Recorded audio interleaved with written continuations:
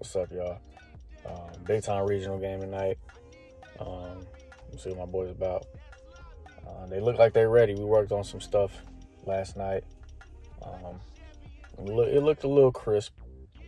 Uh, looked like how it should look like. So hopefully they can put it in the game format and uh, execute down the run. So right now, technically we in first. Um, we're gonna try to keep that tonight. So stay tuned.